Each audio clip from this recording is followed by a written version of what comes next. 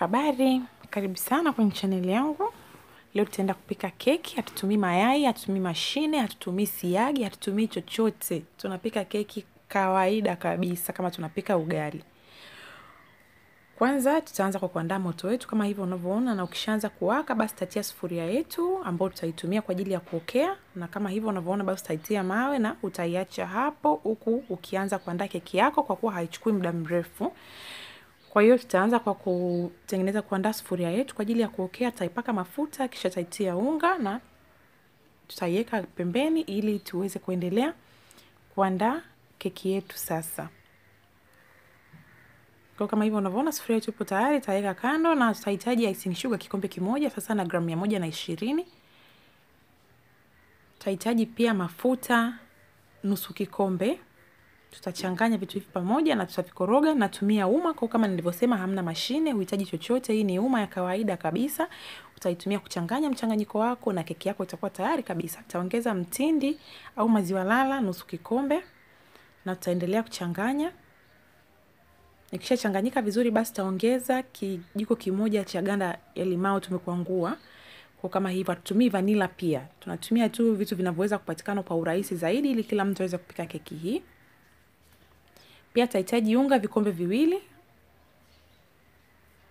ambao ni sawasawa na robo kilo, pamoja na vijiko viwili na nusu vya baking powder, vijiko vya chai hivyo, vijiko viwili na nusu vya chai baking powder, pamoja na unga vikombe viwili ambao ni sawasawa na robo kilo. Kwa tutachanganya vitu hivi pamoja kama unavyoona kwa kutumia uma,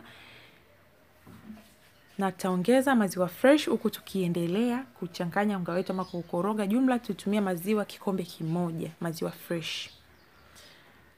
Baada ya kuchanganya basi tutaongeza kijiko kimoja cha vinegar, kijiko cha chai hiki, na tutaendelea kuchanganya, na kama hivyo basi mchanganyiko wetu utakuwa tayari kabisa. Tutaenda kuweka kwenye chombo chetu cha kuokea, yani sufuria yetu ya kuokea, na tutakuwa tayari kabisa kwa ajili ya kuoka. Utapiga piga hivyo ili kutoa hewa, keki yako isiwe na matundu baada ya kuoka.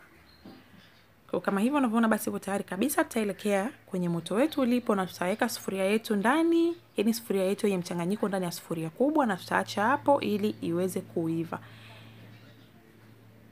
Hakikisha angalizo, hakikisha unatumia kitambaa ambacho ni cotton, kwa sababu mfuniko unakuwa ni wa moto sana. Baada ya hapo, tutatoa sufuria yetu na tutatia moto juu kama hivyo unavyoona.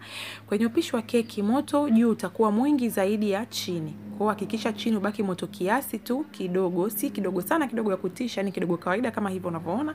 Alafu juu uweke moto mwingi zaidi. Na utaacha hapo tu, yani mimi nilitumia karibia dakika 80 kupika. Kama dakika 70 80 hivi. Kwa baada ya kama dakika 60 hivi ndo anza sasa kuangalia. Kwa hiyo utahakikisha umeweka moto wako vizuri kabisa.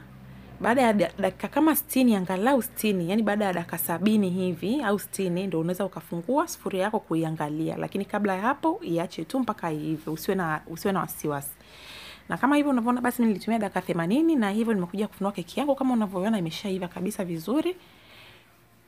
Unaweza ukaijaribu kuona kama imeiva. Kwa hiyo utatumia kisu kuangalia, na kisu kikitoka kisafi kama hivyo, basi namaanisha keki yako imeiva kabisa kwa uzuri. Kwa hiyo ipo tayari, na kama hivyo unavyoona keki yetu ipo tayari kabisa, ni laini kama hivyo unavyoona,